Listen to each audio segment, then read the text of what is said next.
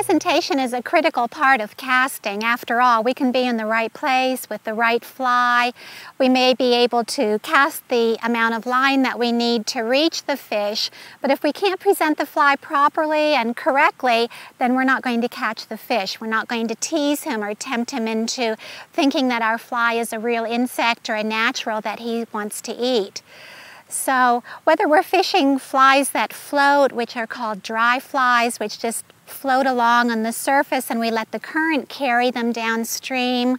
Or we're fishing nymphs, which are flies that sink that may also just drift along with the current but underneath the surface. Or streamers, which are flies that we cast out and then we make swim back. We move them through the water. Regardless of the kind of fly or the type of fly that we're fishing, we have to know how to present that fly correctly.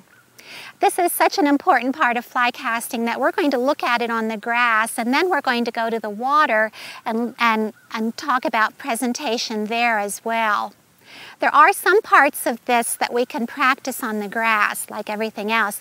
Many times we can't get to the water, but we can get to the local athletic field or ball diamond or, or golf course where we can get out and practice our casting. And that's very important to, to do that and to stay in touch with what, what we're learning and, and um, the things that we're looking at here today. When we talked about the basic false casts, we talked about how important it is to have equal amounts of energy in the back cast and the forward cast. And it's that energy that's in those casts that's going to make it possible for us to present that fly. But there's a little bit more than that too. For instance, if we're making our cast, and here we are with the false casts, and if we stop at the, for, at the front end of the forward cast, but we happen to stop too high, then our line's going to flutter down. It's going to lose the line speed. It's going to lose the energy, and it's just going to drift down, and we're going to lose the distance on the cast, and there's going to be too much slack, and maybe the fly will fall back on the leader or, or back on the fly line. So that's what happens if we stop the cast too high.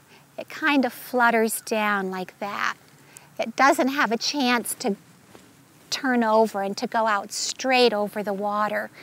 On the other hand, if we bring the rod tip down too soon and too fast, then it crashes and piles on top of itself. It's noisy, it's going to smack the water and scare the fish.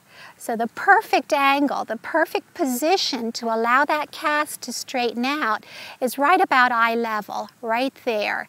The cast turns over, the fly gets to the end of the cast, and as it comes down to the grass and down to the water, the rod tip follows it.